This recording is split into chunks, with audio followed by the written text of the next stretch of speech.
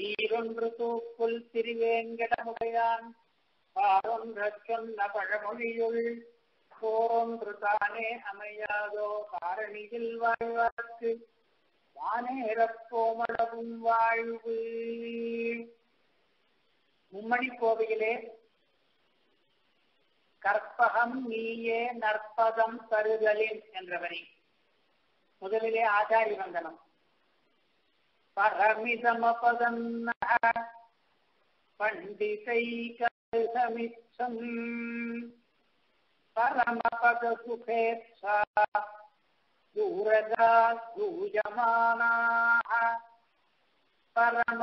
परमकुलधर्माद्यम् पामरेभ्यो दिशन्तम् शरणमुपगतास्युः வீரரக்வீஷசூரிம் மதுராந்தகம் திருமலை ஈச்சம்பாடி வீரராகவாச்சாரிய சுவாமி விஷயமான புதிய வந்தன ஸ்லோகம் இது. இதனுடைய அர்த்தம் ஸ்ரீ வைகுண்டம் என்பது மிக உயர்ந்தது. பரம். அது நமக்கெல்லாம் நிலமாகாதது. இதம் அபதம் மகா. ஆனால் அது பண்டிதர்களுக்கு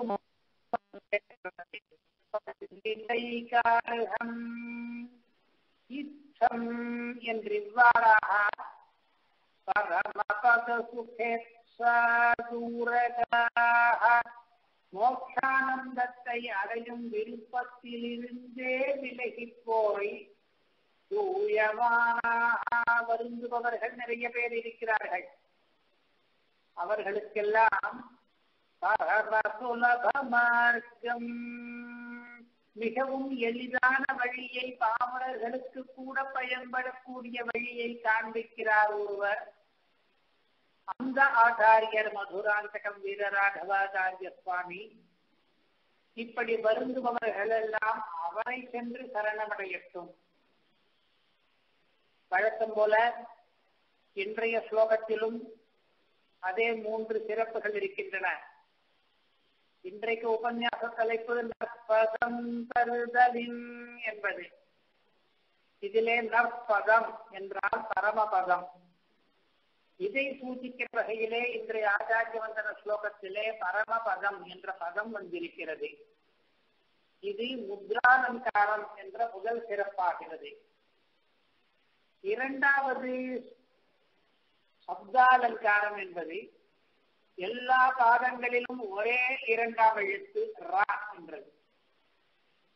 பரம் பரம சரணம் என்ற மூன்று பதங்களிலும் ர என்பதே இரண்டாம் எழுத்து இவை பாதத்தின் ஆரம்பத்திலே வந்திருக்கிறபடியாலே பரமா இரண்டு தடவை வந்திருக்கிறது மொத்தம் நான்கு தடவையாச்சு. எல்லா பாகங்களிலும் ஒரே இரண்டாம் எழுத்து என்பதற்கு எதுகை என்று பெயர் தமிழிலே அந்த சொல்லணி வந்து கிடைத்தது. இது தவிர பா என்கிற எழுத்து ஆறு தடவை வந்திருக்கிறது. பதங்கள் பரம் அபதம் பண்டித பரம பதம் என்ற ஐந்து பதங்கள் ஆறு தடவை. இதிலே வந்த பகரந்து தவிர பா என்ற எழுத்துக்கு பகரம் என்று சொல்வார்கள். இந்த பகரம் தவிர பாமரா என்ற பதத்திலே தீர்க்கமான பாவம் வந்திருக்கிறது. இது பதானுப்பிராசம் என்ற சொல்லணி ஆகிறது இதே மாதிரி தூரகா தூயமானாக என்பதிலும் தூ என்பது இரண்டு தடவை வந்ததனாலே இந்த சொல்லணி இருக்கிறது. இப்படி சப்தாலங்காரம் பெற்றது இரண்டாவது சிறப்பாகிறது. இந்த ஸ்லோகத்துக்கு. மூன்றாவதாக சிலேடை. சிலேடை என்றால் ரெண்டு அர்த்தத்திலே ஒரே பதம் வருவது. இங்கே பிரிமொழி சிலேடை அதாவது சம்ஸ்கிருதத்திலே கண்டஸ்லேஷன் என்று சொல்வார்கள். பரம பதம் என்று பிரிக்கக்கூடிய ஒரு பதத்தை பரம் அபதம் என்று பிரித்து இரண்டு விதமாகவும் பிரித்து அர்த்தம் சொன்னோமானால் பரம் அபதம் என்ற போது உயர்ந்தது நிலனாகாதது என்ற வேற அர்த்தம் கிடைக்கிற காரணத்தினாலே அங்க ஸ்லேகம் வந்தது. இவ்வாறாக மூன்று சிறப்புகளையும் இந்த ஒரு ஸ்லோகத்தில் புரிந்து கொண்டோம். இப்படி சிறப்பு இருப்பது அந்த ஸ்லோகத்துக்கு துதி விஷயமான மதுராந்தகன் சுவாமியை உகப்பிக்கும். அடுத்ததாக ஹயக்ரீவ வந்தனம். திசந்து மே தேவ சதா தயா தரங்கானுச்சராः கடாட்சாः श्रोत्रेषु पुंसाममृतम् क्षरन्तीम् सरस्वतीम् संश्रितकामधेनुम्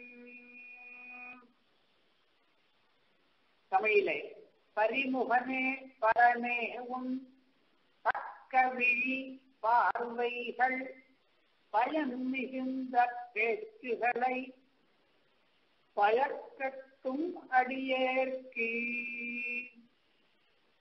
அடியேற்கு மே பயக்கட்டும் விஷந்து பேச்சுகளை சரஸ்வதி பயன் மிகுந்த சம்ஸ்கிருத காமதேனும் பார்வைகள் பக்கவிழி பார்வைகள் அபாங்கா கதாட்சாக பரனே தேவா. துதியாக என்பதற்கு உன் என்று அந்த ஸ்லோகத்திலே இருக்கிற சில பதங்களுக்கு மட்டும் தமிழாக்கம் வந்திருக்கிறது. இன்றைக்கு மும்மணி கோவையிலே ஏழாம் பாசுரத்திலே கற்பகம் நீயே நற்பதம் தருதலின் என்ற வரியினுடைய பின் பாதி இருக்கிறது நற்பதம் பெறுதல் என்பது அது விஷயமாக இருக்கிறது உபன்யாச விஷயம் இதிலே நற்பதம் என்பதற்கு பல அர்த்தங்கள் சொல்லலாமாயினும் இன்றைக்கு ஒரே ஒரு அர்த்தம் எடுத்துக் கொள்ளப் போகிறோம். நற்பதம் என்பது ஸ்ரீ வைகுண்டம் என்கிற பரமபதம். நற்பதம் தருகிறான் பெருமாள் என்பதற்கு பகவான் மோட்சம் அளிப்பவர் என்பது முக்கிய இன்றைய விஷயம். இதற்கு மாற்று கருத்துகள் நிறைய உண்டு. அதிலே ஒன்று தர்மமே மோட்ச பலனை தரும் என்பது இன்னும் சில பேர் சொல்கிறார்கள் அபூர்வம் என்று ஒரு புது வஸ்துவை ஒன்றை கற்பனை பண்ணி வைத்துக் கொண்டு அதுதான் பலம் கொடுக்கிறது என்கிறார்கள். இன்னும் சில பேர் சொல்கிறார்கள் நற்பதம் என்றோ ஸ்ரீவைகுண்டம் என்றோ ஒரு தனி இடமே கிடையாது. இறைவன் சர்வவியாபி எல்லா இடத்திலும் இருக்கிறார் இங்கேயே இறைவன் நிறைந்து விடலாம் என்கிறார்கள். இன்னும் சில பேர் சொல்கிறார்கள் இறைவனும் கிடையாது நற்பதமும் கிடையாது. இல்லாத ஒன்றை இல்லாத ஒருவன் எப்படி தர முடியும் என்று கேட்கிறார்கள்? ஐயோ கருத்துகள் ஆனால் நம்முடைய சித்தாந்தம் என்ன என்றால் வேதம் இருக்கிறதே மறை. அதில் சொல்லிவிட்டால் அதை ஒப்புக்கொள்ள வேண்டும்.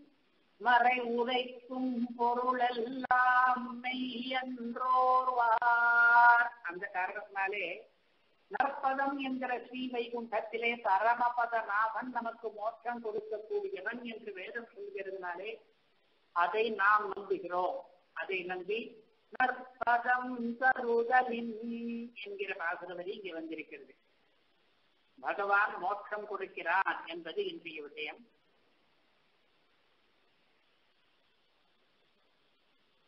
ஸ்ரீ வைகுண்டம் என்கிற பெரிய ஸ்தானத்தை நல் பதத்தை யாருக்கு முமுட்சுவாகி உபாயானுஷ்டானம் பண்ணினவர்களுக்கு உபாயானுஷ்டானம் என்றால் பக்தியோகமோ பிரபத்தியோ அதாவது சரணாகித்தியோ பண்ணினவர்களுக்கு பகவான் தருகிறான் என்பது இன்றைய விஷயம். இதை ஆடக்ஷேப கிரந்தங்கள் இருக்கின்றனவே கிரந்த சதுஷ்டயம் என்று நாலு. அந்த நாளிலுமே ஒவ்வொன்றிலுமே விளக்கி இருப்பதாக இப்போது கேட்க போகிறோம்.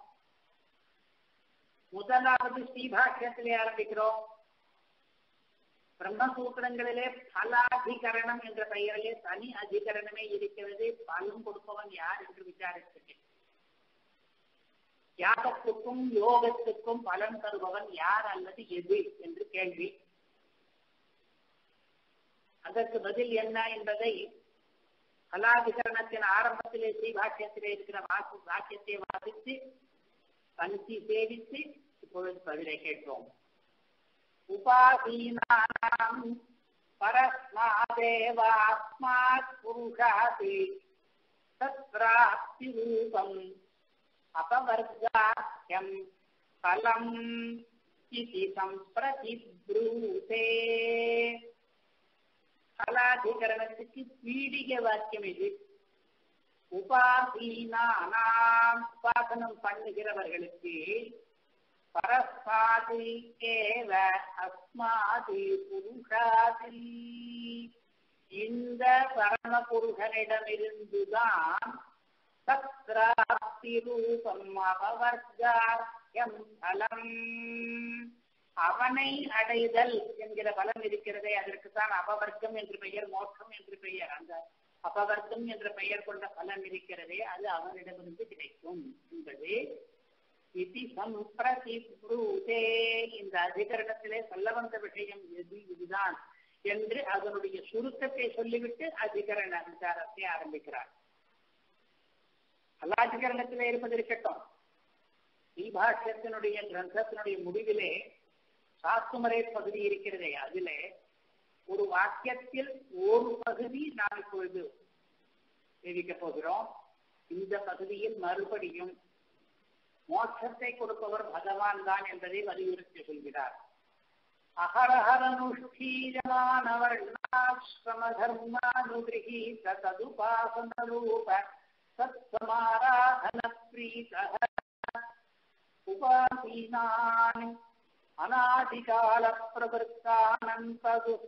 கர்ம ரூபா வித்யாம் விநிவர்த்திய ஸ்வயாதாத்மியானுபவரூபானமதிகாதிசயானந்தம் பிராபய்ய என்கிற வாக்கு என்ற வாக்கியத்தில் இருக்கிறது வாக்கியம் இன்னும் முடியவில்லை இந்த பகுதி நமக்கு போறோம்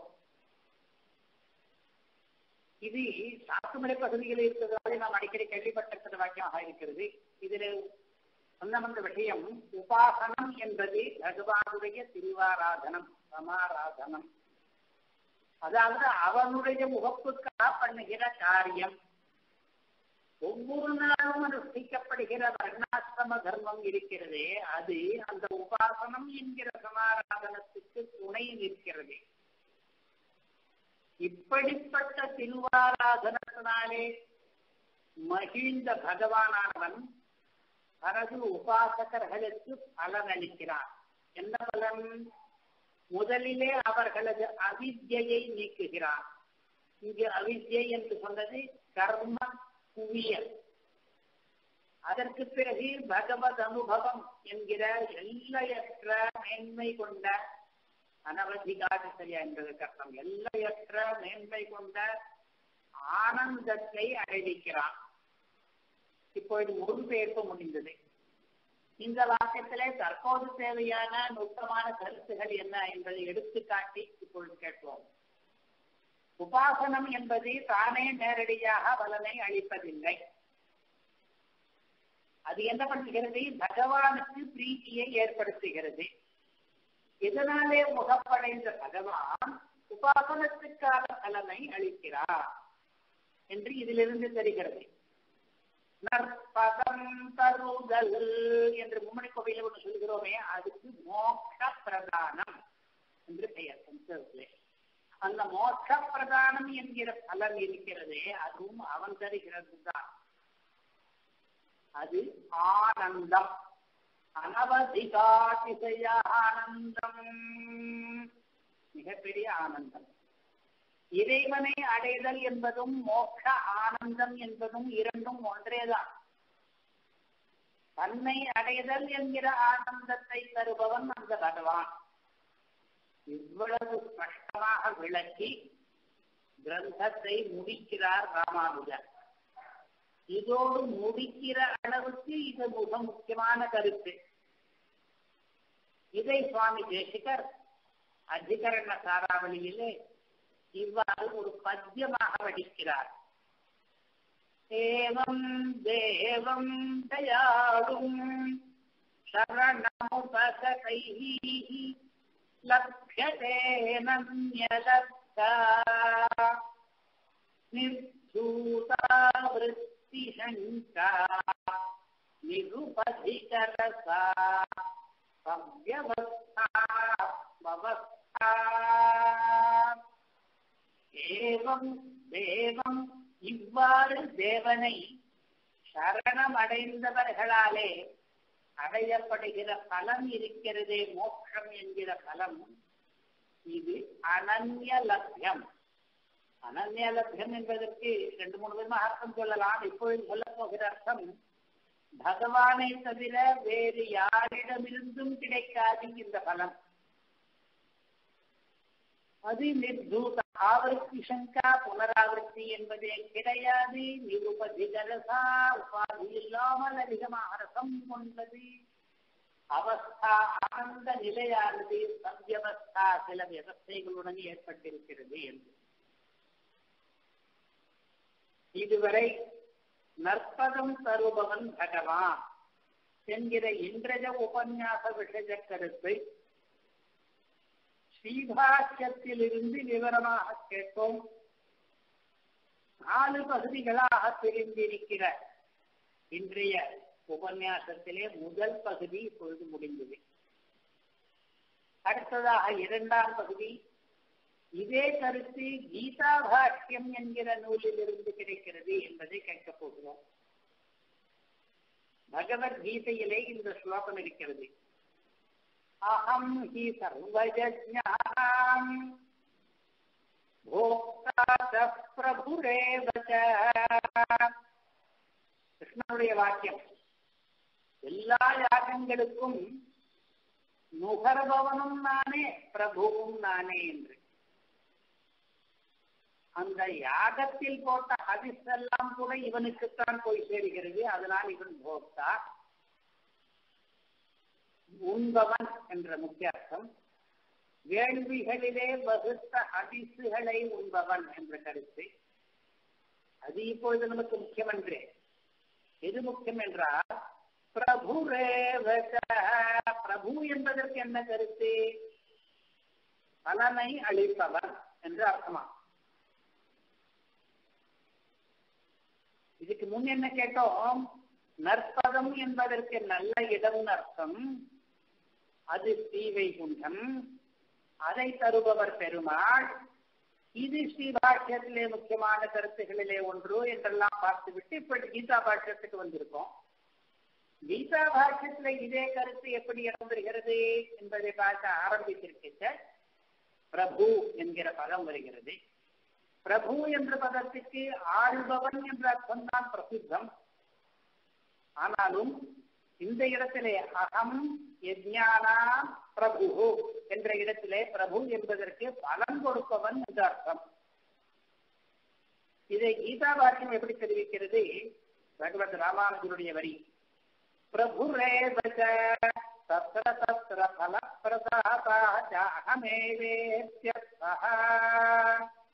அதாவது அந்தந்த யஜ்ஞ கர்மங்களிலே பலன் தருபவனும் நானே என்று அர்த்தம். எத்தனையோ யஜ்ஞங்கள் இருக்கின்றன அவற்றுக்கு எத்தனையோ பலன்கள் இருக்கின்றன. ஜோதிஷ்டோமேன ஸ்வர்க காமோ எஜேதா என்றால் ஜோதிஷ்டோமம் என்கிற யஜ்ஞத்துக்கு ஸ்வர்க்கம் என்கிற பலன் கிடைக்கும். அந்த ஜோதிஷ்டோமம் என்கிற யஜ்ஞத்திலே போக்தாவும் அந்த பகவான் தான். அந்த ஸ்வர்க்கம் என்கிற பலனை கொடுக்கிற பிரபுவும் அந்த பகவான் தான். அதே போல நாம் பண்ணுகிற சரணாகதி என்கிற யஜ்ஞம் இருக்கே. அது யஜ்ஞம் என்று சொல்வதுண்டா என்றால் செய்த வேள்வியர் என்று ஆழ்வாக்கு இருக்கிறது சரணாகதி என்பது யஜ்ஞம் அதற்கு பலனா என்ன என்று கேட்டால் சொர்க்கம் கிடையாது. அதற்கு பலனா மோகம். இந்த எந்த பலத்தை தருபவனும் அவனே என்றதாயிற்று. இதற்கு முன் கீதையிலே இந்திரன் முதலானவர்களை குறித்து சோமயாகம் முதலிய யாகங்களை பண்ணுபவர்க்கு சொல்வலோகம் முதலிய பலனை தருபவனும் பகவானே என்று சொல்லியிருந்தபடியாலே அங்கே எல்லாம் போக்தாவும் பிரபுவும் வெவ்வேறாக இருக்கக்கூடும் என்று இருக்கிறபடியாலே எல்லா யஜ்னங்களிலும் போக்தாவும் பிரபுவும் நான் ஒருவனே என்று ஏவகாரத்தாலே புரிய வைக்கிறார் இதை. என்கிறது தாற்பரிய சந்திரிகை பிரபு ரேவாச்சா என்பதற்கு என்பதில் இருக்கிற ஏவா என்பதற்கு அர்த்தம் எழுதும் பொழுது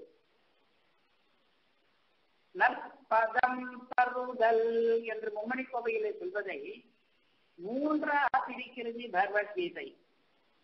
நல்ல இடத்தை தருவது என்பதற்கு முன்னே தீய இடத்திலிருந்து விடுவிப்பது என்பது முதல் படி. இரண்டாவது இந்த தீய இடத்திலிருந்து அந்த நல்ல இடத்துக்கு அழைத்து போவது என்பது. மூன்றாவது அந்த நல்ல இடத்திலே நிலையாக நிறுத்துவது என்று. இந்த மூன்றையும் மூன்று வெவ்வேறு ஸ்லோகங்களிலே தெரிவிக்கிறார் பகவத்கீதையிலே. ஒரு ஸ்லோகத்திலே தேஷாமகம் சமுத்தர்த்தா மிருத்யு சம்சார சாகராதி இந்த மூன்றையுமே பண்ணுபவர பகவான் தான். முதலிலே மிருத்யு சம்சார சாகரம் இருக்கிறதே. இந்த சம்சாரம் என்கிற பிரகதி மண்டலம் அதிலிருந்து இவனை விடுவித்து தூக்கி பண்ணுபவன் அவனும் பெருமாள் தான். தீய பதத்திலிருந்து விடுவி கிருஷ்ணர் பிறகு நயாமி பரமாம் கதின் என்று அழைத்து போவதே தன்னுடைய செயலாக பேசுகிறார். இது வராக கர்ம ஸ்லோகத்திலும் இருக்கிறது. அகம் ஸ்மராமி பக்தம் நயாமி பரமாம் கதிம் என்று. இந்த நயனம் இருக்கிறது அழைத்து போவது அது இரண்டாவது படி. அதுவும் பெருமாளுடைய காரியம்தான். மூன்றாவது புதுசாக கொடுக்க போகிற நல்ல பதம் இருக்கிறதே அது சாஸ்வதமான பதமாக்குவது. அதுவும் பெருமாளுடைய காரியம்தான். மத்பிரசாதாதவாப்னோதி சாஸ்வதம் பதமவ்யயம் என்று கீதை. என்னுடைய கிருஷ்ண சொல்கிறார் என்னுடைய அருளினாலேதான் மோட்சகாமியானவன் அந்த மோட்சம் என்கிற ஸ்ரீவை குண்டம் என்கிற சாஸ்வத பதத்தை அடைகிறார். அந்த பதம் அதாவது இடம் அது நற்பதம் ஆவது எதனாலே என்றால் அது என்ன நல்ல பதம் சொல்வானேன் என்ற எத்தனையோ இடங்களுக்குள்ளே அந்த இடத்தை நல்ல என்ற விசேஷணத்தோடு சொல்வானேன் என்று கேட்டால் சாஸ்வதம் பதமவ்யயம் என்று கீதை விளக்குகிறது. சாஸ்வதமாகவும் அவ்வியமாகவும் இருப்பதால் அதற்கு நற்பதம் என்று பெயர். அது ஒருவனுக்கு எப்படி கிடைக்கும் என்று கேட்டால் என்னுடைய அருளாலே என்கிறான் கிருஷ்ணன். நற்பதம் தருபவன் தான் என்பதை விளக்குகிறார் கிருஷ்ணன். திடீரென்று சந்தேகம் வரலாம். பதம் என்பதற்கு வேறு அர்த்தங்கள் தானே பிரசித்தம். இடம் என்று எப்படி அர்த்தம் கிடைக்கும்? பதம் என்றால் கால் அடி என்று அர்த்தம் சொன்னாலோ அல்லது சொல்லாகிற பதம் என்று சொன்னாலோ அதெல்லாம் உடனே ஒப்புக்கொள்ள முடிகிறது. இடம் என்ற அர்த்தம் எப்படி வரும் என்று இந்த கேள்வியை தேசிகனே கேட்டுக்கொண்டிருக்கிறார். பத்யதே கம்யதே இதம் இது பதம் என்று அதற்கு விற்பத்தி கூறுகிறார் எதை பத்தியதேயோ அடையப்படுகிறதோ போய் சேரும் இடம் என்று அர்த்தம் பத்தியதே இதம் என்றார். பதம் என்பதற்கு போய் சேரும் இடம் என்று அர்த்தம் வருகிறது என்று விளக்குகிறார்கள் ஆச்சாரியர்கள் இந்திர பதம் பிரம்ம பதம் முதலிய பதங்களிலே இருக்கிற பதம் என்பதற்கு ஸ்தானம் என்றுதானே அர்த்தம்? அதெல்லாம் பிரசித்தமாகவே இருக்கிறது. அதனாலே நற்பதம் என்பதும் ஒரு ஸ்தானம் நல்ல ஸ்தானம் என்பது சீதை குண்டம். நற்பதம் தருபவன் பகவானே என்று அவனே பகவத்கீதையிலே சொல்லி இருக்கிறார் என்பது இதுவரை கேட்டதனுடைய சாரம். இப்பொழுது இரண்டு கிரந்தங்கள் முடிந்தன ஸ்ரீபாஷ்யம் கீதா பாஷ்யம் என்று. இனி மூன்றாவதாக. இதே கருத்து மூன்றாவது காலக்ஷேப கிரந்தமான பகவத் விஷயத்திலேயும் இருக்கிறது என்பது. சில பேர் சொல்கிறார்கள் மோட்சம் என்பது தனி இடம் கிடையாது. அது ஒரு தனி நிலை. அப்படி வாதிக்கிறவர்களுக்கு உத்தரவாக பகவத்கீதை என்ன சொல்லிட்டு சத்பிரசாதாம் சாந்திம் ஸ்தானம் பிராப்தி சாஸ்வதம் என்று சாஸ்வதமான ஸ்தானம் என்ற பதத்தை சொல்லிட்டு அது ஒரு இடம்தான் என்று. இப்பொழுது திருவாய்மொழி. அதிலே ஒரு பாசுரம் சரணமாகும் தனதாழடைந்தார்க்கெல்லாம் மரணமானால் வைகுந்தம் கொடுக்கும் பிரான் என்பது. இது கோவில் திருவாரூரில் இருக்கிறதுனாலே நித்தியார சந்தானத்தில் இருக்கிறதுனாலே ரொம்ப பிரசித்தமான பாசுரம். பெருமாள் தான் வைகுந்தம் கொடுக்கிறவர் என்று. வைகுந்தம் கொடுக்கும் பிரான் என்று பகவானை ஸ்பஷ்டமாக சொல்கிறது. இந்த இடத்திலே பகவத் விஷயம். உலகத்திலே முதன் முதலான மணிப்பிரவாள கிரந்தம் என்று சொல்லப்படுகிற திருவாராயிரப்படி இயற்றியவர் திருக்குறுகை பிரான் பிள்ளா. அவருடைய ஸ்ரீசூக்தியை இப்பொழுது வாசித்து கேட்கப் போகிறோம். இப்படி பூர்வாச்சாரிய ஸ்ரீசூக்திகளை வாசித்து கேட்பதற்கு இது ஒரு வியாஜமாகிறது மும்மணி கோவை உபன்யாசம் என்பது. அதனுடைய அர்த்தங்களை விட அந்த ஸ்ரீசூக்திகளையே வாசித்து கேட்பது நமக்கு முக்கியம். இப்பொழுது அந்த வரி. தன் திருவடிகளையே உபாதமாக பற்றினார்க்கு ஒரு படியாலன்றியே எல்லா படியாலும் ரட்சகனாய். அப்போதே அவர்களை இப்பிரகிருதியை விடுவித்து திருநாட்டில் கொண்டு போய் திவ்ய பிரகிருதிகளாக்கி அவர்களோடே சம்சேஷித்தல்லது தரிக்க மாட்டாதிருக்க செய்தே. அவர்களுக்கு பிரகிருதி சம்பந்தம் அனாதிவாசனையால் சக்கியமாக இருக்கையாலே கிளிப்த காலத்திலேயே இப்பிரகிருதி தானே விட்டால் திருநாட்டை கொடுத்தருளி.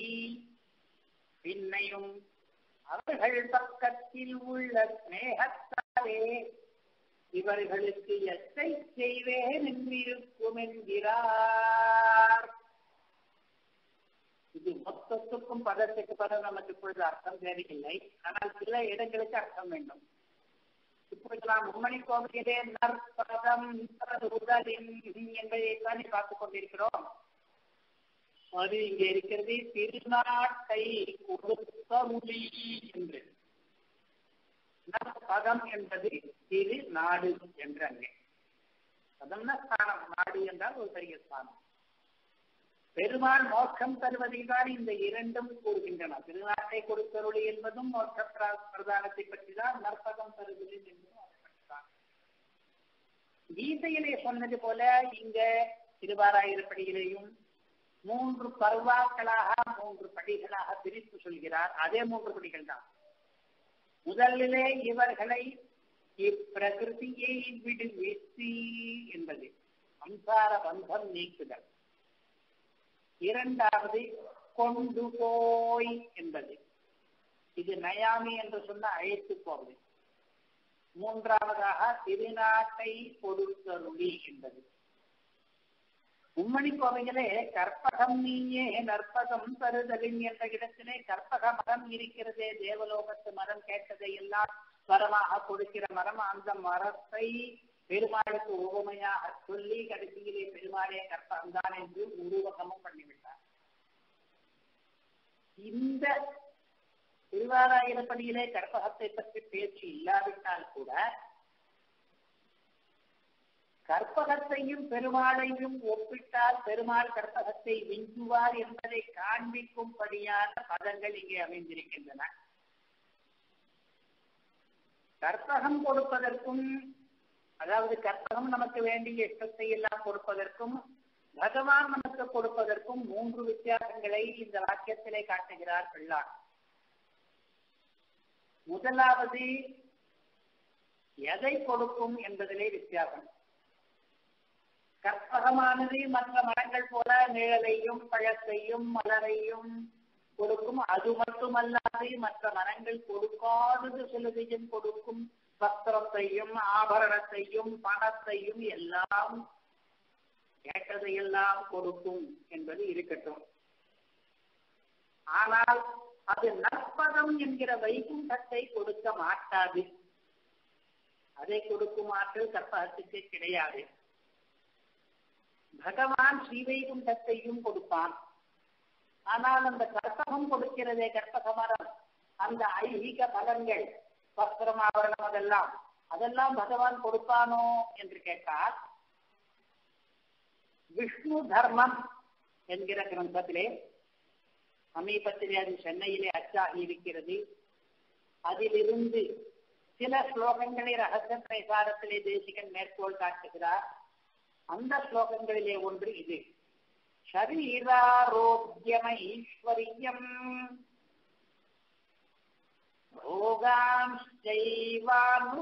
भोगांश्चैवानुषञ्जिकानि ददाति ध्यायिनाम् पुंसाम् अपवर्गप्रदो हरिः என்ற ஒரு ஸ்லோகம் இந்த ஸ்லோகத்திலே சொன்னபடி நற்பதம் தருபவன் கற்பகம் போலே பற்பல தருபவன் தான் என்னென்ன தருவான் என்றால் ஷரீர ஆரோக்கியம் ஐஸ்வர்யம் போகம் என்று தன்னை தியானம் பண்ணுகிற மனுஷர்களுக்கு அவர்கள் கேட்காமலே கூட ஆரோக்கிய ஆயுர் ஆரோக்கிய ஐஸ்வர்யாதிகளை எல்லாம் தருகிறான் அதெல்லாம் ஆணுசங்கீதமாக தருகிறார். ஏதோ கொசுறு தருவது போலே. அவன் உண்மையாக தருகிற பெரிய பலன் எது என்றால் அபவர்க்க பிரதோஹரிஹி அபவர்க்கம் என்று ஒன்று இருக்கிறதே. திரிவர்க்கம் என்பதற்கு எதிர்ப்பதமாக மோட்சம் என்று அர்த்தம். அதுதான் அவன் முக்கியமாக கொடுக்கிறது. அதோடு கூட அந்த அபவர்க்கம் கொடுப்பவன் வேறு சில இன்மை பயன்களையும் தருகிறான் என்று சொன்னது போல மோட்சம் உள்பட எல்லாவற்றையும் கொடுக்கக்கூடியவன் ஹரி. இது முதல் பெரிய வித்தியாசம் கற்பகத்துக்கும் பெருமாளுக்கும். பெருமாள் எல்லாவற்றையும் கொடுத்தார். இல்லை பயன் மறுமை பயன். மோட்ச பயன் எல்லாவற்றையும். கற்பகம் அப்படி கிடையாது. இரண்டாவது பெரிய வித்தியாசம் பிள்ளார் சொன்னது ஒரு படியாலன்றை எல்லா படியாலும் ரட்சகனாய் என்றது. இது ஒரு வித்தியாசம். கற்பகத்துக்கும் பெருமாளுக்கும். கற்பகம் கேட்டதையெல்லாம் சொல்லும் சரிதான். சில சமயங்களிலே நமக்கே எது கேட்க வேண்டும் என்று தெரியாமல் வேண்டாததை கேட்டு வைத்தோமானால் அதையும் கற்பகம் தரும். பெருமாள் அப்படி கிடையாது. சில சமயம் நம்ம கேட்டதை தராமலே நமக்கு சித்தம் பண்ணுவார் வருவாள் நமக்கு வேண்டாத நரக துல்லியமான போகங்களை இன்பம் என்று நினைத்துக் கொண்டு நாம் சில சமயம் கேட்டு விடுவோம் விஷ துல்லியமான அன்னங்களை உணவுப் பொருள்களை அது விஷம் என்று தெரியாமலே நாம் கேட்டு விடுவோம் நாம் எது கேட்டாலும் கற்பகம் கொடுத்து விடும் நாம் எக்கேடு கெட்டு போனாலும் அந்த கற்பகத்துக்கு கவலை இல்லை. அது ஒரு யந்திரம் போல கேட்டதை கொடுத்து கொண்டிருக்கும். நம்மை ரட்சிக்கிற நோக்கம் இல்லாமல் நமக்கு கொடுக்கிற நோக்கம் மட்டும்தான் அது இருக்கிறது கற்பகத்துக்கு. ஆனால் பெருமாள் அப்படி கிடையாது. நான் கேட்டதையெல்லாம் கொடுத்து நம்மை பாழியில் தள்ள மாட்டார் நம்மை ரட்சிக்கிற நோக்கம் அவருக்கு இருக்கிறது. இது பெரிய வித்தியாசம். அடுத்து மூன்றாவது பெரிய வித்தியாசம். அவர்கள் பக்கத்தில் உள்ள மேகத்தாலே என்கிற பதங்களிலே இருக்கிறது பெரிய வித்தியாசம். ஒரு யந்திரம் பணம் கொடுப்பது போலே கற்பகம் அபிஷத்தை கொடுக்கும். ஆனால் பகவானோ மேகத்தோடு கொடுப்பார். இன்னும் இவனுக்கு கொடுக்க வேண்டும் ரட்சை பண்ண வேண்டும் என்று பாரித்துக் கொண்டே கொடுப்பார். நம்மேலே அக்கறையுடன் கொடுப்பார். அதனாலே எதை கொடுக்கிறான் என்பதிலும் வித்தியாசம்.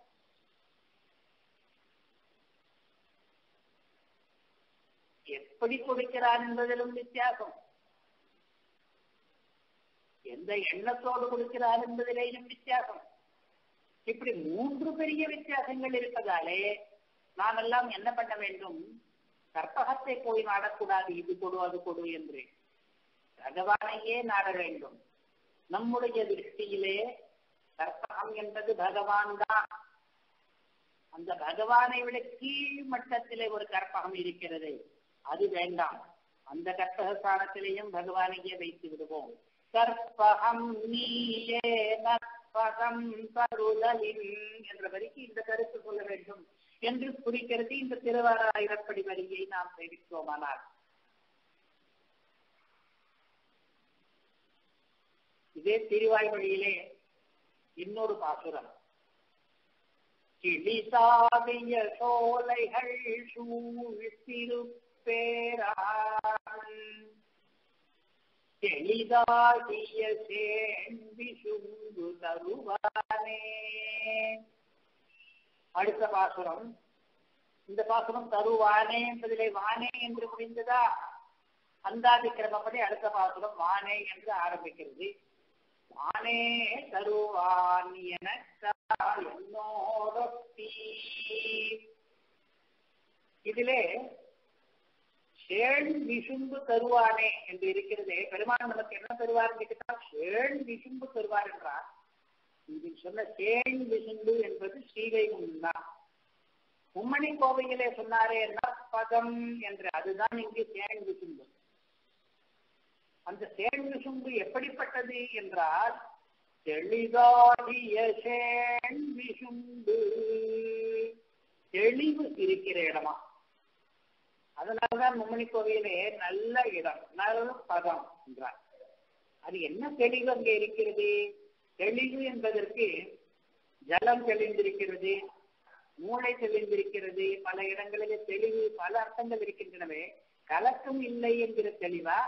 அல்லது அறிவு என்ற அர்த்தமா இல்லை வெளிச்சம் என்ற அர்த்தமா என்று கேட்டா அதற்கான பதிலே பகவத் சித கிரந்தத்திலே அந்த திருவாய்மொழிக்கான வியாக்கியானத்திலே கிடைக்கிறது. இதோ அந்த வரியையும் வாசித்து கேட்போம். ரஜஸ்தமசுக்களன்றிக்கே சுத்த சத்வமாகையாலே தெளிந்ததான இருள் தருமானாலம்போலன்றிக்கே தான் பிரகாசமாய் தன்னை அடைந்ததற்கு நிரங்குஷஞான பிரசரணத்தாகியான எளிதாக என்பதற்கு அர்த்தம். சப்தார்த்தத்திலே. தெளிவு என்பதற்கு மூன்று அர்த்தங்களையும் எடுத்துக் கொள்ளலாம் என்கிறார். கலக்கமில்லை என்பது எப்படி என்றால் கலக்கமில்லை என்பதற்கு முதல்படியாக கலப்படம் இல்லை என்பதை பார்ப்போம். அதாவது ரஜசும் தமசும் கலவாத சுத்த சத்துவம் மட்டும். பிறகு ரஜசமத்தின் காரியமான கலக்கமும் கிடையாது. தெளிவு இருக்கிறது அந்த சேர்ந்து சிம்பிளே தெளிவு என்பது சத்வத்தினுடைய காரியம். இரண்டாவதாக தெளிவு என்பதற்கு இன்னொரு அர்த்தம் வெளிச்சம். இருட்டிலே வெளிச்சம். அதாவது பிரகிருதி மண்டலத்தை இருள் தருமாஞானம் என்கிறார்கள். என்கிறார்கள் என்றால் ஆழ்வார்கள் தான். இந்த இருட்டு தொலைந்தது கால ராத்திரி போயிற்று விடிவு பிறந்தது அதனாலே வெளிச்சம் வந்தது அந்த வெளிச்சம்தான் தெளிவு. அது தேங்கு சிம்பிலே கிடைக்கிற தெளிவு. மூன்றாவதாக தெளிவு என்றால் அறிவு. ஸ்ரீவைகுண்டத்திலே ஜீவாத்மாவுக்கு அறிவானது முழுதாக குறைவில்லாமல் இருக்கும். சம்சாரத்தில் அவனுக்கு அழிவு எப்படி இருக்குமோ அவனே ஞான ரூபந்தான் அறிவுருவானவன் தான் ஆனால் அந்த அறிவு சம்சாரத்திலே சங்குச்சிதமாக குன்றி போயிருக்கும். நற்பதம் என்று ஒரு இடம் சொல்லுகிறோமே சிவைகுண்டம் அந்த இடத்திலே இதே ஜீவாத்மா போனானால் அங்கே அகங்குச்சிதமாக விகசிதமாக முழுதாக விரிந்திருக்கும். இதை சொல்வதற்கு சப்தார்த்தத்திலே பகவத் விஷயத்திலே என்ன சொல்கிறார்? நிரங்குஷ ஞான பிரசரணம் என்கிறார். சட்டு தடை இல்லாத அறிவு பெருக்கெடுத்து ஓடும். அந்த இடத்து பெருமை அது. இது கூட ஒரு காரணம் அதை நல்ல இடம் நற்பதம் என்று சொல்வதற்கு. இன்னும் ஒரு காரணம் கூட சொல்கிறார். அது ஏன் நற்பதம் என்று சொல்ல வேண்டும் என்பதற்கு. என்ற பதத்திலே தெரிவித்த காரணம் அது.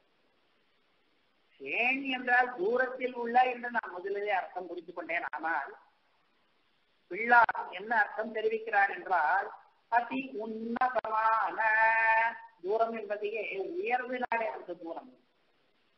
பிரம்மணஸ்வதூர்த்தம் சத்விஷ்ணோ பரமம் பதம் என்று ஒரு ரிஷிவாக்கியம் அதை இங்கே பிரமாண வச்சனமாக காட்டுகிறார். சதுர்முக பிரம்மா இருக்கிறாரே அவருடைய சதனம் இருக்கிறதே வீடு ஒரு சத்தியலோகம் அது எல்லா லோகத்துக்கும் மேலே இருப்பதாக சொல்கிறார்களே அதற்கும் மேலே இருக்கிறது. சத்விஷ்ணோ பரம பதம் என்று வேத வாக்கியத்தை அப்படியே எடுத்து போட்டு விட்டாருங்க. ரிஷிவத்தனத்திலேயும் ரிஷிவச்சனத்திலேயும் இதை சான்றாக காட்டி ஸ்ரீவைகுண்டம் மிக உயரத்திலே இருப்பதாலே அது சேண் விசுண்டு என்று அதற்கு பெயர் வந்திருக்கிறது என்கிறார். நற்பதம் என்ற பதத்திலே நல் என்றது எதை தெரிவிக்கிறது என்று கேட்டால் அந்த ஸ்ரீவைகுண்டத்துக்கு இதுவரை பார்த்த ஸ்லோகங்களிலே வசனங்களிலே என்னென்ன விசேஷணங்கள் போட்டிருக்கிறார்களோ உயர்வை பெருமையை கோருவதாக அத்தனை அத்தனையும் இந்த நல் என்றதற்கு அர்த்தமாக எடுத்துக்கொள்ள வேண்டும். சாஸ்வதமான அவ்யஜமான என்று இரண்டு விசேஷணங்கள் கீதையிலே இருந்தன. தெளிதான உன்னதமான என்று இரண்டு விசேஷணங்கள் பகவத் விஷயத்திலே கிடைத்தன. திருவாய்மொழியிலேயே கிடைத்தன. பிரகாசமான ஞான விகாசகாரியா அதாவது அறிவை மலர வைக்கிற தானே வெளிச்சம் போடுகிற என்கிற இந்த இரண்டு விசேஷணங்கள் அடைமொழிகள் பகவத் விஷயத்திலே கிடைத்தன. அனவதிகாதிசய ஆனந்தமான மீளுதல் இல்லாத என்று இரண்டு விசேஷங்கள் சீபாக்கியத்திலே கிடைத்தன. இதுவரையிலே நாம் பார்த்த வசனங்களிலே மட்டும் நல் என்பதற்கான எட்டு கருத்துகள் நமக்கு கிடைத்தன. நற்பதம் இப்படி எட்டு விதங்களாலே நன்மை பெற்ற பதம் தானம் என்கிற அதை அந்த ஸ்ரீவைகுண்டத்தை தருபவன் பகவான் என்று நம்மாழ்வாரும் சொல்கிறார். இதற்கு ஒரு வார்த்தை வேடிக்கையும் பண்ணுகிறார். அடுத்த பாசுரத்துல. பகவான் தருவான். அது இருக்கட்டும். அடுத்த பாசுரம் என்ன? வானே தருவான். வான் என்று இருக்கிறது. இப்பொழுது கற்பகத்துக்கு வான் தரு என்று ஒரு பெயர். ஏன் அந்த பெயர் வந்தது என்றால் வான் தரு என்றால் ஸ்வர்கலோகத்து மரம் என்று அர்த்தம். தரு என்றால் மரம் வான் என்றால் ஸ்வர்கம். வான் தரு என்று கற்பக மரத்துக்கு பெயர். பகவான் வானே தருவான் என்று சொல்கிற இடத்திலே இருக்கிற வான் என்பதற்கு ஸ்ரீவைகுண்டம் அர்த்தம். வான் தரு ஒரு பக்கம் வான் தருபவன் இன்னொரு பக்கம். இப்படி வான் தருவையும் வான் தருபவனையும் ஒப்பிட நேர்ந்தது மும்மணி கோவையிலே கற்பகம் நீ ஏ நற்பதம் தருதலின் என்பதிலே இந்த வான் தரு என்பது வான் தருபவன் என்பதிலே அடங்கி போய்விட்டபடியாலே கற்பகம் நீயே நற்பதம் தருதலின் என்பது வேடிக்கையாக சரியாகிவிட்டது.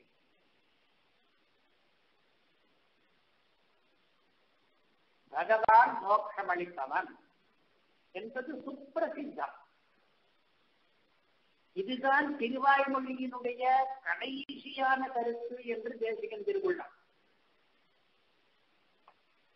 அதனாலே அவர் இப்படி பாடினார். விரமுடோபனிஷத் கிரந்தத்திலே முக்தேர்தாதானுபாவ்யோ ஹரிதி சகசிதி தர்ஷயன் முக்திமாபா முக்தேகே தாத்தா முக்தியை கொடுப்பவனும் ஹரி. அனுபாவியோ ஹரி. அப்படி கொடுத்த முக்தியிலே அனுபவிக்கப்படுபவனும் அதே ஸ்ரீ முக்தியிலே ஹரியை அனுபவிக்கிறோம். அந்த முக்தியை ஹரிதான் கொடுக்கிறான். அதனாலே முக்தி தாத்தாவும் அவன் அனுபாவியமும் அவன். இதை காண்பித்த நம்மாழ்வார் இதை காண்பித்த உடனே தான் அவதரித்த காரியம் நிறைவேறியதாக கருதி முக்தி அடைந்தார் தர்ஷயன்னே சகஜித் முக்திமாபா என்று தேசிக வாக்கியம். முக்தேர்ஜாதானுபாவியோ ஹரிவித் சகஜித் முக்தி மாதா இதிலிருந்து என்ன தெரிகிறது? நற்பதம் தருபவர் பகவான் என்பது நம்முடைய சம்பிரதாயத்திலே முக்கியமான விஷயம் என்பது தெரிகிறது. நீதி பேர் என்ன சொல்கிறார்கள்? நம்முடைய முயற்சியினாலே பிரயத்னத்தாலே மோட்சம் கிடைக்கும் என்றோ அல்லது தர்மத்தினாலே மோட்சம் கிடைக்கும் என்றோ வெவ்வேறு மதத்தினர் வெவ்வேறு சொல்லிக் கொள்ளட்டும் அவர்கள் இஷ்டப்படி. ஆனால் வேதத்தை அடிவற்றியே நாம் சொல்வது என்ன என்றால் உபாயானுஷ்டானம் மூலம் அதாவது பக்தியோ பிரபத்தியோ பண்ணின பிறகு அதன் மூலம் பகவத் பிரீத்தி பண்ணினால் அப்படி பிரீத்தமான பகவான் நமக்கு மோட்சம் கொடுப்பார். மோட்சத்துக்கு வேறு வழி கிடையாது என்பது நம்முடைய சித்தாந்தம். இதுவரையிலே நற்பதம் தருபவன் பகவான் தான் என்ற கருத்தை மூன்று கிரந்தங்களிலிருந்து ஸ்ரீபாஷ்யத்திலிருந்து கீதா பாஷ்யத்திலிருந்து பகவத் விஷயத்திலிருந்து கேட்டு அனுபவித்தோம். இப்பொழுது கடைசியாக உபன்யாசத்தினுடைய நாலாவது பாகம். இதே கருத்தை ரகசிய கிரந்தங்களிலிருந்து கேட்டு அனுபவிக்க போறோம். சுகயதி நிஜாயாதாயி ஸ்வயம் ஹரிச்சந்தன என்ற வரியுடன் முடிகிறது. ஸ்ரீமத் ரகசிய பிரகாரத்திலே கதி விசேஷாதிகாரம். ஒவ்வொரு அதிகாரத்தினுடைய கடைசியிலும் ஒரு சம்ஸ்கிருத ஸ்லோகம் இருக்கும் அல்லவா? இது பரிபூர்ண பிரம்மானுபவாதிகாரம்.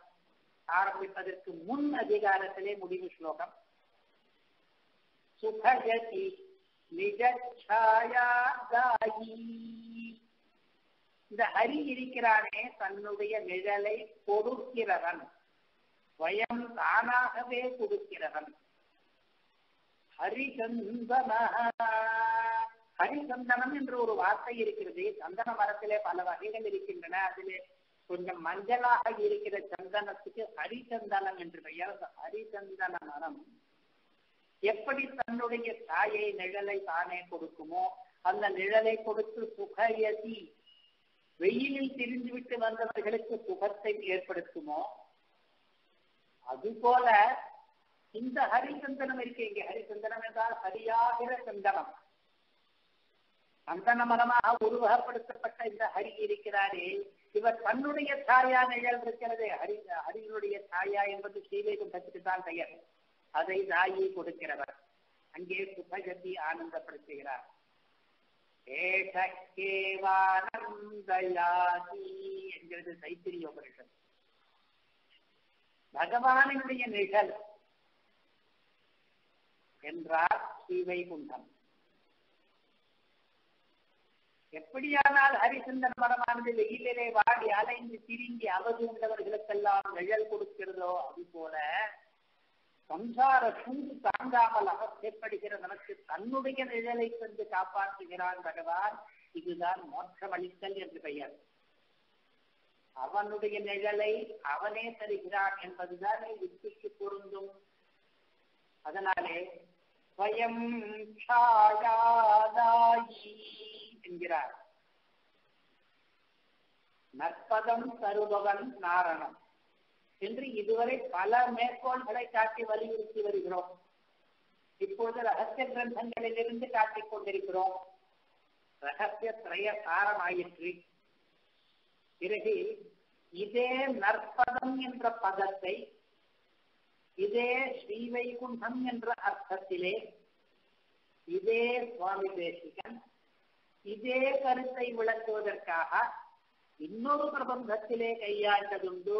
அந்த பிரபந்தத்தின் பெயர் பரமபத சோபானம் என்பது சில்லறை ரகசியங்களிலே ஒன்றானது. அந்த பாசுரம் இதோ கேட்போம் துன்பற்ற கண்துணிவால் துயர் தீர்க்கும் துழாய் முடியான். இன்புற்ற நல்வழியால் ஏற்றும் நற்பதமென்னுவமே. தூ தூ என்பது நாலு தடவை வந்திருக்கிறது. துன்பற்ற துணிவார் துணிவால் துயர் தீர்க்கும் துழாய் முடியான் அந்த வார்த்தை வேடிக்கை கிடைக்கட்டும். மோனை என்பது. ஏற்றும் நற்பதம் என்னுவமே என்ற இடத்திலே நற்பதம் என்று இருக்கிறதே அது ஸ்ரீவைகுண்டம். அது துழாய் முடியான் ஏற்றும் நற்பதம். நம்மை கீழிருந்து அந்த ஸ்ரீவைகுண்டத்துக்கு துழாய் முடியான் தான் ஏற்றுகிறான். அவன்தான் நமக்கு நற்பதம் தருகிறான். உயர்ந்த பதமாகிய பரமபதத்துக்கு நம்மை நல்வழியாலே ஏற்றுகிறார் என்கிறது இந்த பரமபத சோபானம். இதே மாதிரி சில்லறை ரகசியங்களிலே இன்னும் ஒன்று உபகார சங்கிரகம் என்பது. இது பகவான் நமக்கு எப்படி எப்படியெல்லாம் சிருஷ்டி காலம் முதல் மோட்சப்பிரதான காலம் வரைக்கும் உபகாரங்களை பண்ணுகிறார் என்று நூறு வருஷங்களிலே சிந்திக்கிறது அதிலே ஒரு பாசுரம். ஆதி உண்டாகிலும் அந்தமில்லாத பரிபூரண அனுபவத்தை கொடுக்கும் அதுவும். இந்த நிரதிசயானந்த அனுபவ பரிவாகம் நித்தியமாம்படி நடத்தும் அதுவும் எல்லா முனைவும் தீர்ந்து சிறை கூடத்தில் நின்றும் புறப்பட புறப்படவிட்ட ராஜகுமாரனுக்கு சிவமான யௌவராஜ்யம் கொடுக்குமா போலே இருக்கிற பிரதான உபகார வர்க்கம் என்று உபகார சங்கத்திலே இருக்கிறது. இது ஆதி உண்டாகிலும் அந்தமில்லாத அனுபவம் என்றால் பத்தாத்மாவாக இருக்கிற நமக்கெல்லாம் ஆனந்தம் என்று மோக்ஷானந்தம் என்பது இப்பொழுதெல்லாம் இல்லாமல் தான் இருக்கிறது. நமக்கு இந்த பிரகதி மண்டலத்திலிருந்து விடுதலை ஏற்பட்டு ஸ்ரீவைகுண்டம் போன பிறகுதான் அது கிடைக்க போகிறது. அதனாலே அந்த ஆனந்தத்துக்கு ஆதி உண்டு. அதாவது ஒரு காலம் வரையில் நமக்கு இல்லாமல் இருந்து ஒரு காலத்துக்கு பிறகு நமக்கு கிடைப்பது. ஆனால் அதே ஆனந்தத்துக்கு அந்தம் கிடையாது. அதாவது நமக்கு அது கிடைத்து விட்டால் நாம் முக்தி அடைந்து மோட்சானந்தத்தை அனுபவிக்க ஆரம்பித்து விட்டால் அதற்கு பிறகு அது முடிவடைய போவதே இல்லை. சதா சர்வ காலமும் பின்னர் நாம் அனுபவித்துக் கொண்டே இருக்க போகிறோம். அதனாலே ஆதி உண்டாகிலும் அந்தமில்லாத பரிபூர்ணானுபவம் என்பது மோட்சானந்தம் அதை கொடுக்கும் அதுவும் திருமால் பண்ணுகிற உபகாரம். மோட்சத்தை நமக்கு கொடுக்கிறான் என்ற உபகாரம். அதுதான் இங்கே மம்மணி கோவிலே நற்பகம் என்று சொன்னது. பிறகு அவர் பண்ணுகிற உபகாரம் இன்னொன்று என்னன்னா இந்த நிரதிசயானந்த அனுபவ பரிவாகம் நித்தியமாம்படி நடத்துமதுவும் பெருமாளுடைய சங்கல்பத்தாலேதான் இந்த மோட்சானந்தமானது நமக்கு நித்தியமாகிறது. அது மட்டுமல்ல அந்த ஸ்ரீவைகுண்டம் என்பது நித்திய விபூதி என்றே அதற்கு பெயர். அப்படி நித்திய விபூதியாக அதை ஏற்படுத்தி வைத்திருக்கிறானே அது உபகாரம். இது எது போல இருக்கிறது என்றால் ஒரு ராஜா ராஜகுமாரனுக்கு பண்ணுகிற உபகாரம் போல இருக்கிறது. பெருமாள் என்கிற ராஜா நம்மை ராஜகுமாரனாகத்தான் நினைக்கிறார். ஆரம்பமே அப்படித்தான் ஆரம்பிக்கிறது.